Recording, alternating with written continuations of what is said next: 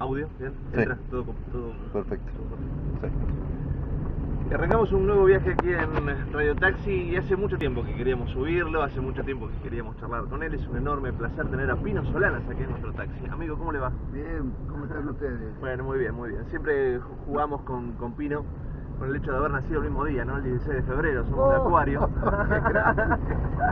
Qué grande. ¿Te, eh, te importa eso, el tema de los signos? eh?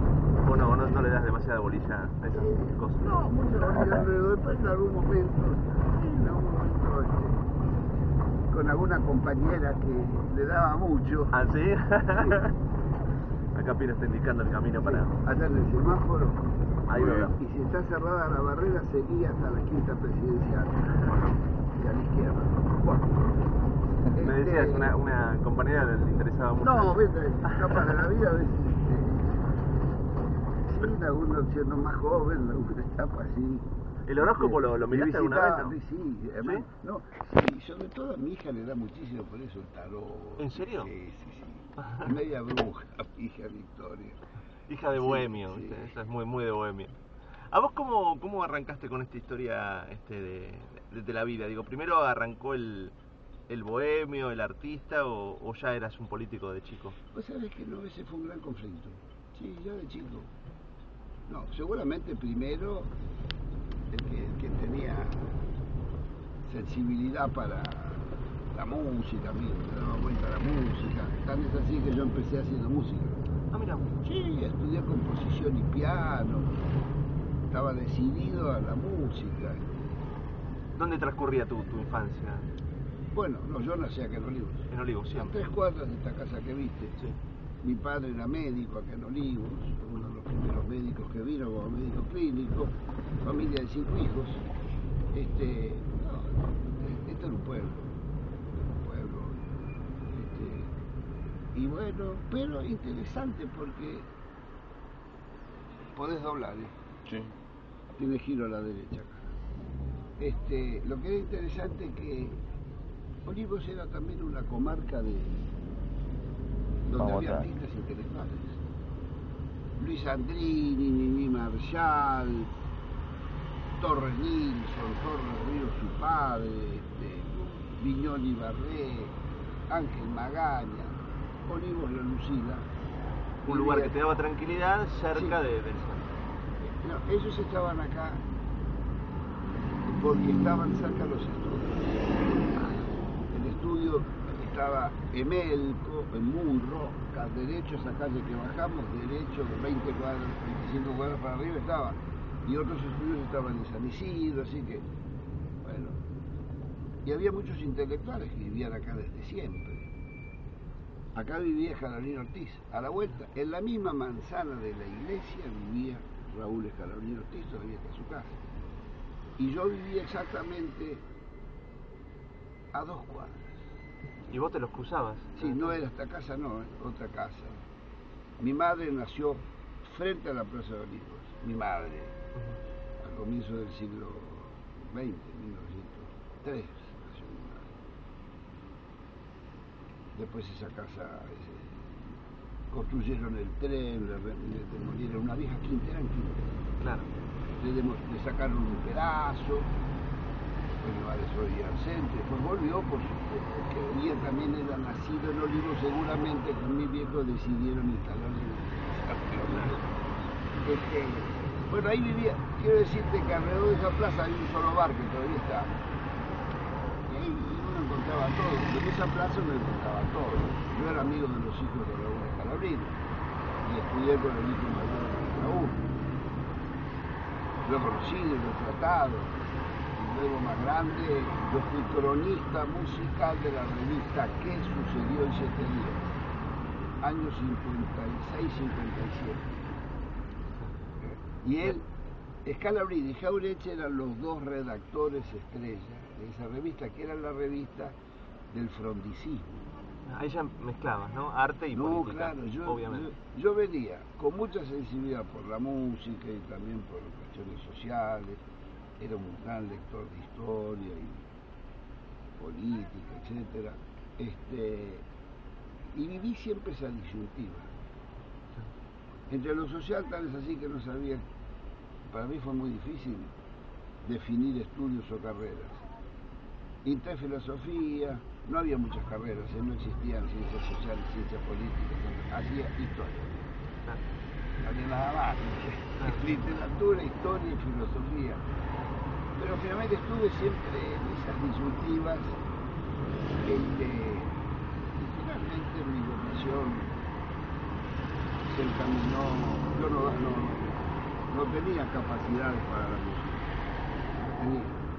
Era más mi metejón, lo que yo sentía la música, vivía en el Teatro Colón, me metí en los ensayos con las orquestas sinfónicas, estudiaba composición con el con Juan Carlos Paz, con Gerardo Gilardo. Pero esto, sin lugar a dudas, te ha servido porque en muchas de tus películas la música juega un papel Mirá, importante. mirá, es interesante la observación, sí. Me ha quedado adentro los tempos musicales, la estructura musical. Y sí, así de que yo comp- hago componer la música antes de cuando estoy filmando, ya tengo las ideas. Bueno, todo eso me sirvió una barbaridad para el todo eso. Pero yo tenía un... El fuerte mío era para la imagen. Si para algo yo estaba dotado era para la imagen. Y ¿Dónde te diste cuenta de esto?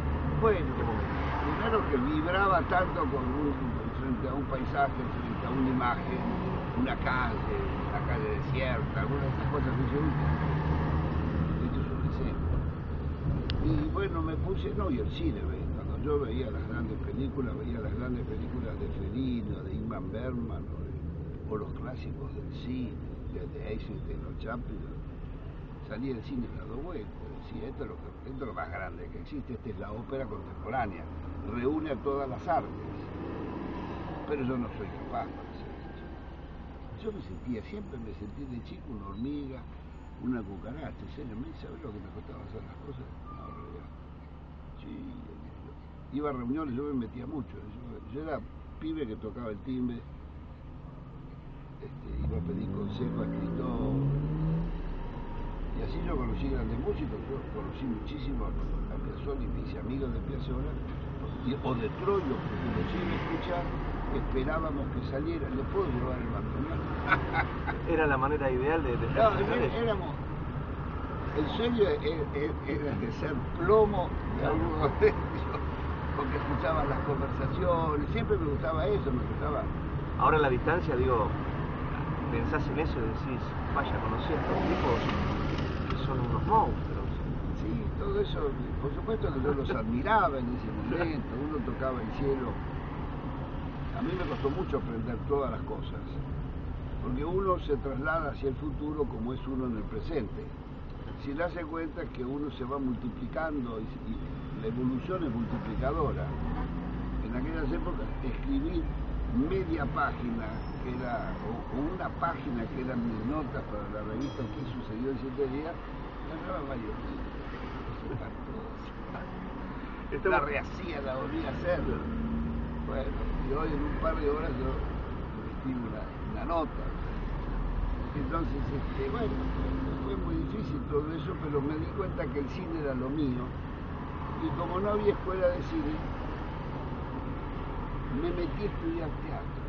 Había una gran escuela, de, Conservatorio Nacional de Teatro que tenía profesores extraordinarios. Enseñaba Sandro Benavente, Osvaldo Bonet, María Rosa Gallo, Luis Diego Pedreiro, el arquitecto que a mí me enseñó una barbaridad. A partir de las enseñanzas, enseñaba historia del arte yo tuve dos años y nunca más en mi vida me vo- voy a olvidarlo. Yo, yo sé ver los estilos, sé que este es barroco primitivo, barroco tardío, en fin. Me, sirvió una barbaridad aquello. En mi formación artística, los años en el conservatorio, después hice tres años de interpretación. Yo quería dirigir, no ser actor, pero también actuaba. Este, entonces eso fue un enorme laboratorio, la cocina. No se puede hacer cine la, cocina del cine, el taller de pintura o de fotografía y por otro lado una gamba en la imagen y la otra gamba en, el en un taller de teatro. Primera parte de esta charla tan linda con Fernando Pino Solano. Ha sido, ah, ha sido un placer para mí eh, sacarle un poquito de la, de la actualidad en esta primera parte, ir un poquito al pasado para recordar aquellos tiempos tan lindos. Hacemos una pausa muy cortita y ya seguimos charlando, obviamente, de la actualidad.